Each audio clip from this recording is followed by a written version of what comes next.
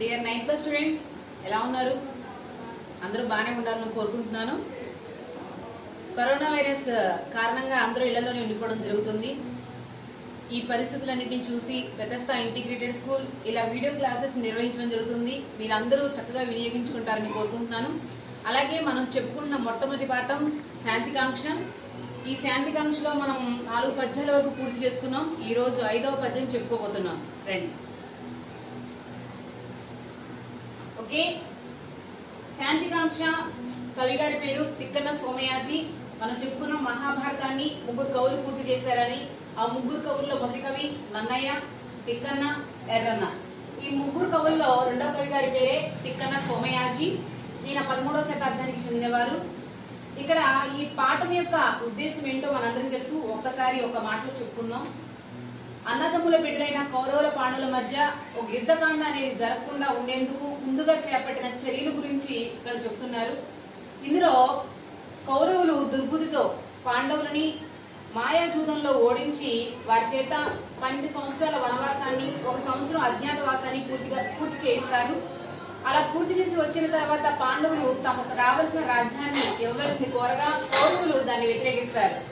అప్పుడు ధర్మరాజు. అంటే పాండవుల్లో పెద్దవాడైన ధర్మరాజు ఈ కౌరవుల్ని ఉద్దేశించి వారికి ఏదో విధంగా నచ్చ చెప్పి యుద్ధాన్ని ఆపడానికి చేయవలసిన పనులు ఎవరితో రాయబారిగా పంపిణీ చేయిస్తున్నాడంటే శ్రీకృష్ణుని ఆ శ్రీకృష్ణుని గురించి శ్రీకృష్ణుడితో ఏమని చెబుతున్నారు అనే విషయాన్ని గురించి ఇక్కడ మనం తెలుసుకోబోతున్నాం. ఇక్కడ కూడా పాండవుల పెద్దవాడైన ధర్మరాజు శ్రీకృష్ణునితో ఏమని మాటలు చెబుతున్నారంటే చూడండి. పగయ కలిగినేని బాగున్న ఇంటిలోనున్న ఎట్లగాక యూరడిల్లి ఉండినట్లు చిత్త మొకమాటుగావున బలువది అధిక దీర్ఘ వైరవృద్ధి పగయ కలిగినేని బాగున్న ఇంటి ఎట్ల కాక యూరడిల్లి ఉండునెట్లు చిత్త మొకమాటుగావున బలవదు అధిక దీర్ఘ వైరవృద్ధి ఇది కంఠస్థ పద్యమేమి కాదు. దీని గురించి మనం తెలుసుకుంటే చాలు. చూడండి. పగయ కలిగినేని బామున్న ఇంటిలో ఉన్న ఎట్లగాక? పగయ కలిగినేని పగయ అంటే శత్రుత్వం అనేది ఏర్పరచుకున్నట్లయితే శత్రుత్వం ఎవరితో అయినా ఉన్నట్లయితే పామున్న ఇంటిలో ఉన్న ఎట్లగాక? పామున్న ఇంట్లో ఉన్నట్లు కాదా? అంటే శత్రుత్వం అనేది ఏర్పరచుకుంటే ఉన్నట్టే అంట లెక్క. పాము నివాసం ఉన్న ఇంట్లో మనం కాపురు ఉన్నట్లే. నిజంగా చెప్పండి పాము అనేది ఇంట్లో ఉంటే మీరు ఒక క్షణమైన ప్రశాంతంగా ఉండగలరా? ఒక నిమిషమైన ప్రశాంతంగా భోజనం చేయగలరా? లేదు. ఎందుకంటే పాము విషపూరితమైన ప్రాణి. ఏ నిమిషంలో అయినా ఎవరైనా కాటు వేస్తే ప్రాణ నష్టం అనేది కలగవచ్చు.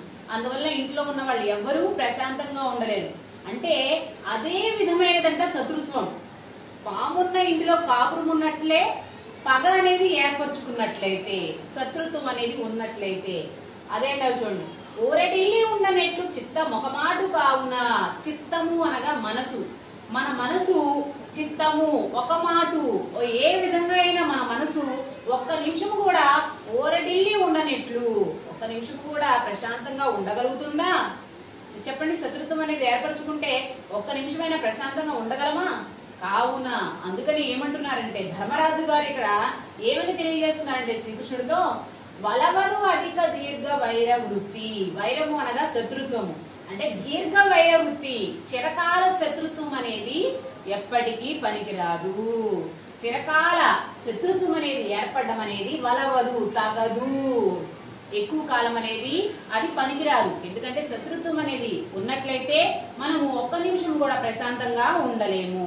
ఎప్పుడు ఎవరైనా ఏ దాడి చేస్తారో ఏ విధంగా ప్రాణ నష్టం కలిగిస్తారో లేదా మనం ఎవరితోనే శత్రుత్వం పెట్టుకుంటే మనం వారిని ఏం చేయాలి? నిరంతరంగా ఇటువంటి ప్రశాంతత లేకుండా మనం జీవితం కొనసాగించాల్సి వస్తుంది. అందువలన శత్రుత్వం అనేది ఉంటే పామున్న ఇంట్లో కాపురం ఉన్నట్లే అని చెప్పి మన పెద్దలు సామెత చెప్పిన విధంగా ఇక్కడ ధర్మరాజు గారు శ్రీకృష్ణుడికి తెలియజేస్తున్నారు. అంటే శ్రీకృష్ణుల వారు రాయబారిగా వెళ్ళి కౌరవుల దగ్గరికి వెళ్ళి ఈ విషయాన్ని ఈ విధంగా తెలియజేయాలి. అంటే శత్రుత్వం అనేది కౌరవులకి పాండవులకి పనికిరాదు. రాజ్యకాంక్ష మేరకు ఇటువంటి యుద్ధాలు అనేవి పనికిరావని ఒక ఉదాహరణతో మనకి ఇక్కడ తేల్చి చెప్తున్నారు. మరి తర్వాత పద్యంలోకి మనం వెళ్దాం. ఓకే? Thank you